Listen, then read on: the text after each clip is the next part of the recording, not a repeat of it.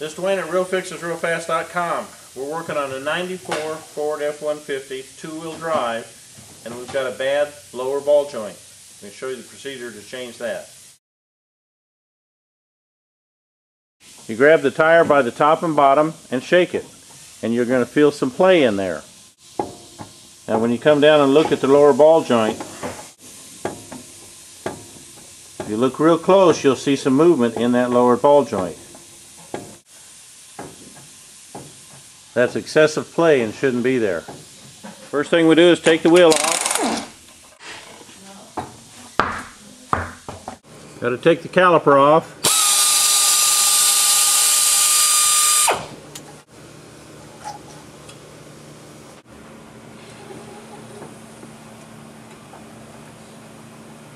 Now you can pull the caliper out where you can get a little better access to it. And there's various ways of compressing the piston on the caliper. The important thing here though is you shouldn't let that caliper just hang free. You can use a bungee cord or a strap or something like this. It's okay for the caliper to hang but it shouldn't put undue stress on that brake line. Pop the pads out. Now by using that pry tool that we had to start with there, we've actually pressed the piston back in the caliper so you can get that out. The ball joint's held on with a cotter pin that goes through the castle nut. You got to get that cotter pin out of there. Personally, I like these really long pliers. It gives you a good handle to get a hold of, try on.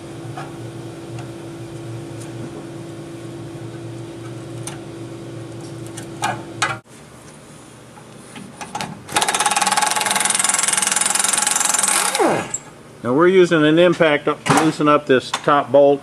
You can do it just with a ratchet if you don't have an impact. There's a little wedge down in here that we have to get out. Some of these are concentric and need to be right in the same place so we just take the little grinder and put a little mark right on there. We're actually going to line up the slot with the mark. Now we need to take the tie rod end off.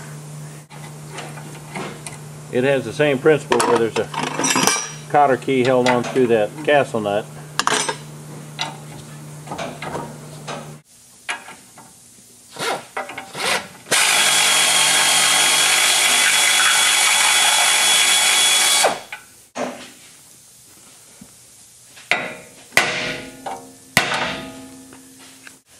You just smack on that outer part with a steel hammer real hard. Once you take the castle nut off, it's just the bevel part that is holding it in place. Same procedure with the lower ball joint. Take the cotter pin out and the castle nut off. Now here's just a little tip. Before you take that castle nut off completely, leave it on just a couple threads so when you break this loose, it won't just fall all the way to the ground.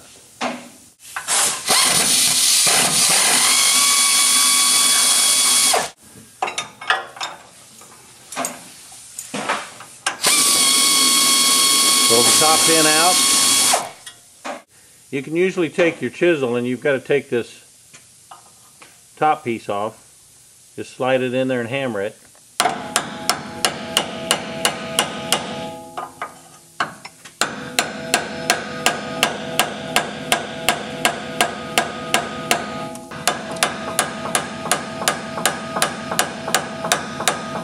That's the eccentric for the alignment.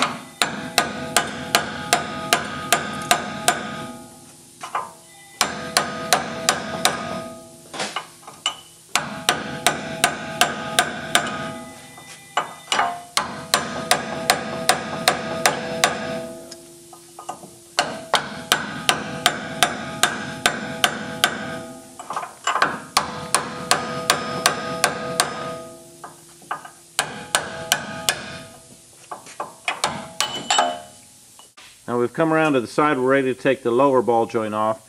It's held on with the same type of bevel.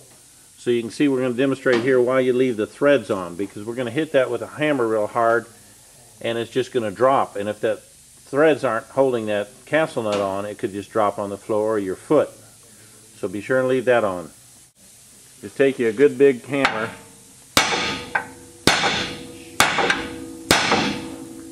Now, You can see why that held that in place. Now we're ready to take the castle nut out and remove it.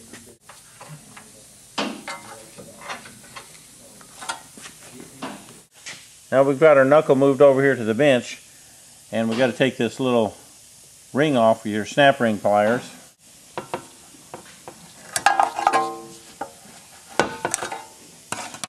Now if you've never done these before, it's your first time, just pay close attention right here. We got the bevel, this is the bottom ball joint compared to the top. It's just a post up there. It doesn't have the bevel.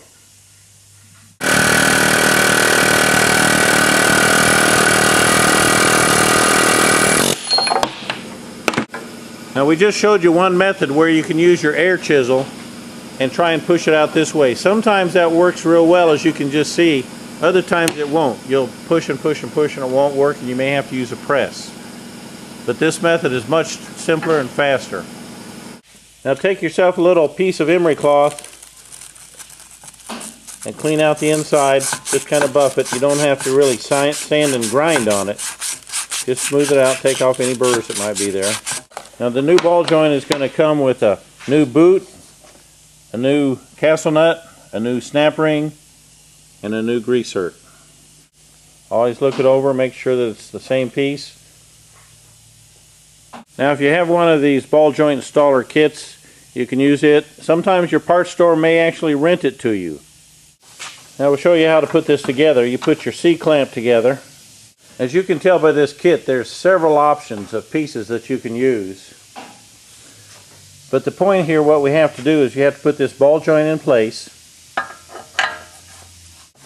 And then we've got to press it in there without damaging the ball joint. So you'll need to come up with a combination that works. You need a spacer, and then the flange that goes on the end. You can see the ball joint has to come up into this recess. So your spacer has to go allow that and it has to be wide enough to still let the ball joint travel. If it's in there too tight, then your ball joint won't be able to travel up into the space that it needs to. And then you put a flange on here. Purpose of this flange is to have something solid that your C-clamp will hook onto. Then you can slip your C-clamp in place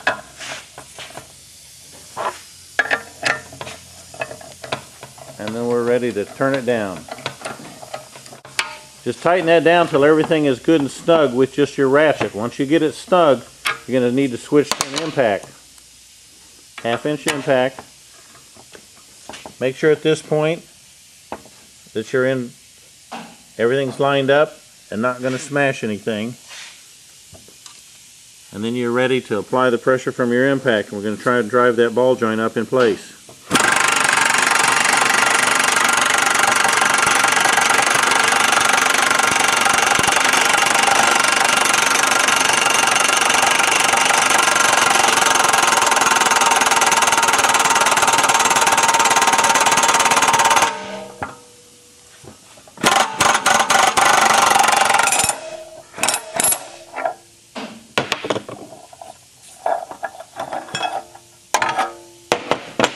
Now how do you know that you're actually in tight and far enough? Well the first thing is the impact will stop moving, but take your spacers off and then you can look at the ball joint.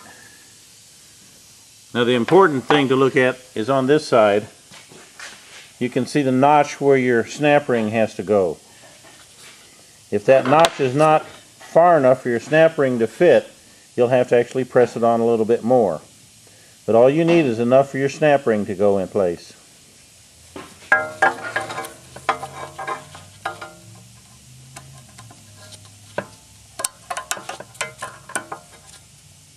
Now the next thing we need to do is take the rubber boot and slide it over the ball joint. Now when you get your rubber boot in place, make sure that the little notch for the grease, it's actually pointing, in this case, upward. But if you look at the knuckle, that would be inward when you actually mount the vehicle, mount it on the vehicle. The next thing to do is take the greaser and screw it into the bottom of the ball joint.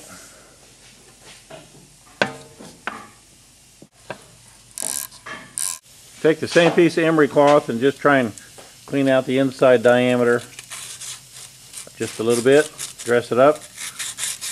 Now take the knuckle and slide it in and put your top post in first.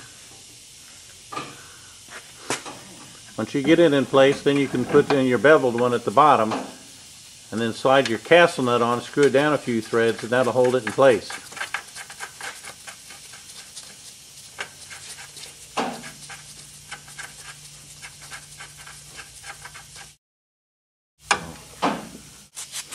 It's always a good idea to clean off the surfaces that are going to go together.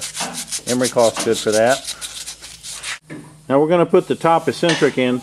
Some of the aftermarket eccentrics do not have this tab and you can turn this to get a caster camber change. In this case it has a factory tab on here that lines up with this groove. So in this case it's not one that's going to be easily put in wrong.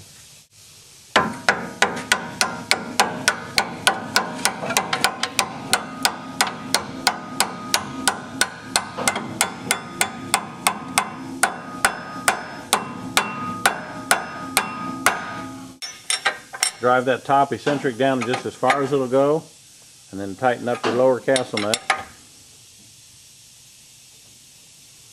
It's tight now. Once you get it tight, you look for where the alignment pin is and you finish tightening it till you can get the cotter pin in it.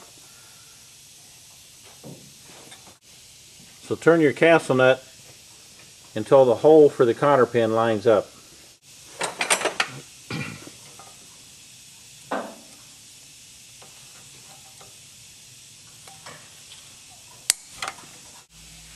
Slide your bolt in.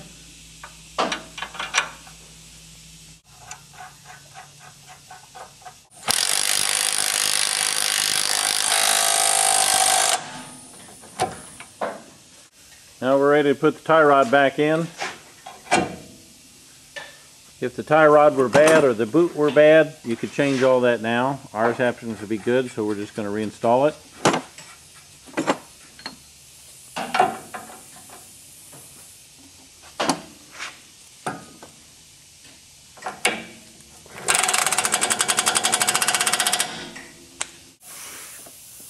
Okay, now turn it until where it's really good and snug and the hole lines up with the slot in your castle nut.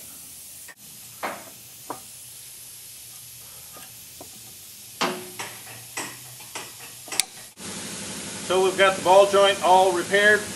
Next thing is just put your brakes together. We're going to change the brake pads, put new pads on, and you're done.